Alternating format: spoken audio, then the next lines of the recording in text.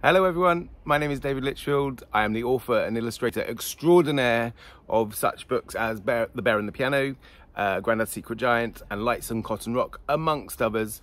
Um, I would like to say a huge congratulations to all of you for taking part in the Polka Theatres uh, Write Here, Write Now, creative writing project. What a fantastic project. There's so much fun uh, to be had with some of these stories. Um, You've all created some fabulous stories, and I uh, am happy to say that I have been chosen to read The Potato Diamond, written by Ronnie uh, from King's Oak Primary School. Well done, Ronnie. Uh, let's read your story. I'm so excited. Good evening, ladies and gentlemen.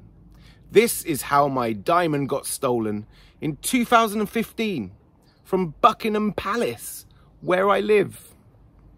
One day, my security guard, who watches over the diamond in the palace, fell asleep. A robber went to the back entrance. He kicked down the palace door and crept down the dark corridors. He threw a rope onto the top floor and climbed up it. This way, he avoided the CCTV cameras.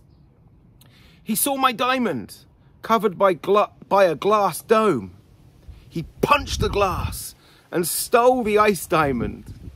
He replaced the diamond with a brown potato, which was exactly the same weight as my diamond. When this happened, the alarm went off and uh, off in my system at Buckingham Palace. Someone has broken into the palace and stolen my diamond. Oh no, what shall I do? I said to my husband, I called the security guard and he said, I'll look around with my white light torch. His voice sounded croaky, as if he had just woken up. I'm so sorry, Your Majesty, but my eyes were droopy and I just had a little nap. Then the security guard called the police. They questioned the guard. The security guard walked upstairs and showed the police that the thief had replaced the diamond with a potato.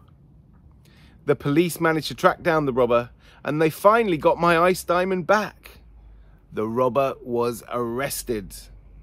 I told my security guard, never go to sleep again. At the end. Oh my goodness, that's such a brilliant story.